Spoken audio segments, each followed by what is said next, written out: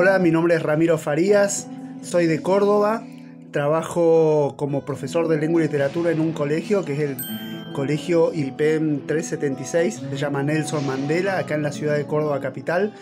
Y mm, en la materia hicimos una experiencia de que los chicos tenían que contar, escribir, ¿no? Qué sentían ellos al escuchar determinados temas.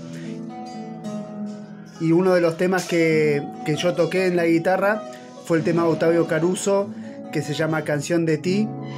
Y bueno, la respuesta fue muy buena. A los chicos les encantó el tema y les encantó la experiencia de darse cuenta qué es lo que iban sintiendo a medida que escuchaban la melodía y la acción con esos sentimientos.